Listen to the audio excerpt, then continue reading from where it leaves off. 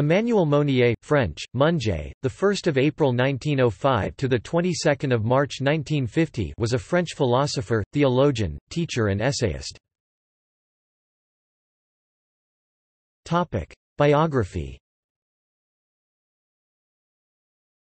Mounier was the guiding spirit in the French personalist movement, and founder and director of Esprit, the magazine which was the organ of the movement.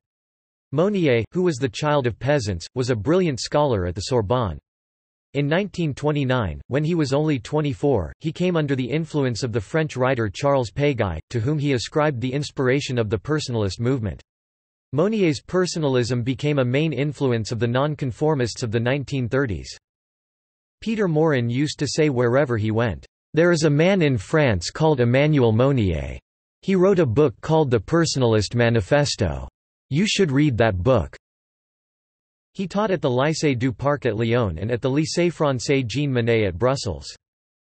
Although Mounier was critical of the Moscow trials of the 1930s, he has been taken to task by the historian Tony Judt, among others, for his failure to respond critically to the excesses of Stalinism in the post-war period. Mounier once commented, in a restrained manner, on the Pope's silence Concerning the persecution of the Jews by the Nazi regime, thus, he is cited in the bibliography on Pope Pius XII as indirectly originating the «black legend» of Pius XII. Works La Pensée de Charles Péguy, Plon, Call, Roseau d'Or, 1931. Révolution personnaliste et communautaire, Paris, Aide. Montaigne, 1934. De la propriété capitaliste à la propriété humaine, Desclée de Brouwer, Call. Questions disputes, 1936. Manifeste au service du personnalisme, aide. Montaigne, 1936.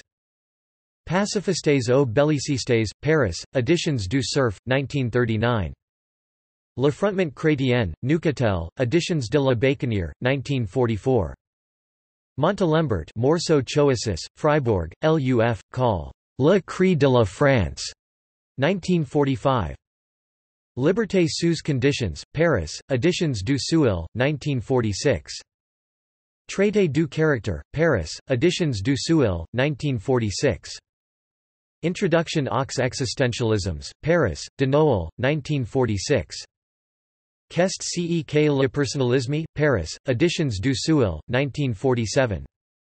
L'éveil de l'Afrique Nord, Paris, Editions du Seuil, 1948. La petite pure du XXe siècle, Paris, Editions du Seuil, 1948. Fou la Crétienté, Paris, Editions du Seuil, 1950. Les certitudes difficiles, Paris, Editions du Seuil, 1951. Mounier et sa génération. Lettres, Carnets et Inédits, Paris, Editions du Seuil, 1956. See also. Ligue de la Jeune République. References. External links Works by or about Emmanuel Mounier at Internet Archive Emmanuel Mounier, Personalism, and the Catholic Worker Movement Obituary of Emmanuel Mounier 1905 -1950.